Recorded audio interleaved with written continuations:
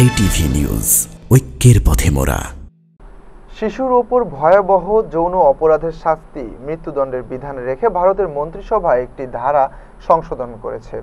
যেখানে বলা হয়েছে, শিশুদের ধর্ষণ করা হলে তার শাস্তি হবে মৃত্যুদণ্ড।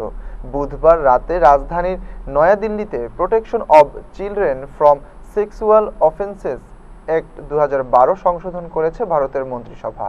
প্রধানমন্ত্রী নরেন্দ্র মোদীর সভাপতিত্বে মন্ত্রিপরিষদের বৈঠক থেকে এ বিষয়ে ক্লিয়ারেন্স দেয়া হয়।